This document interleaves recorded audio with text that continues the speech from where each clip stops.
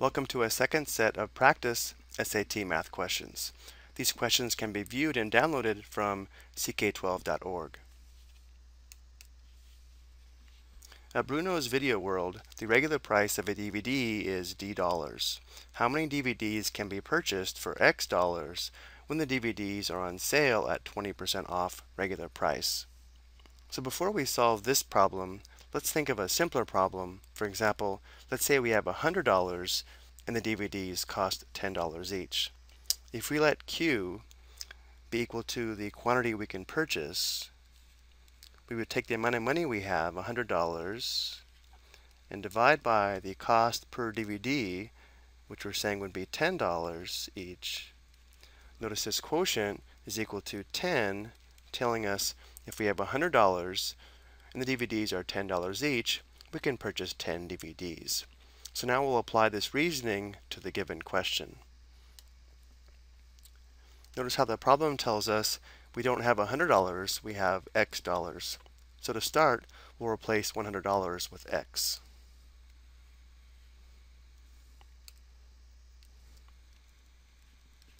Next we want to find the cost per DVD when we're told the DVDs are regularly D dollars each, but they're 20% off. So if the DVDs normally cost D dollars, but they're 20% off, that means we still have to pay 80%. So we want to find 80% of D dollars, which would be equal to 0.8 times D, or just 0.8 D. Again, if we want to find 80% of a number, we convert the percent to a decimal and then multiply which means we can replace $10 with 0.8D.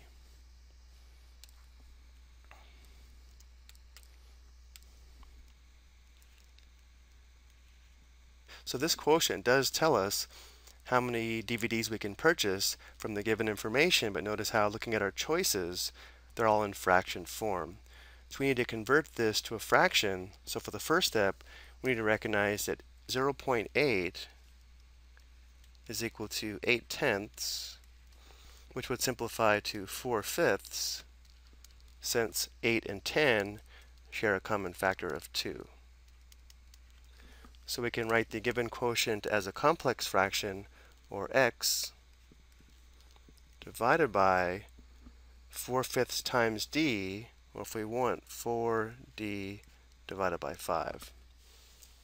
Now remember, a fraction bar just represents division, so we can write this as a division problem, meaning this is the same as x divided by 4d over 5. But normally we write division problems involving fractions as multiplication problems. So this is equivalent to x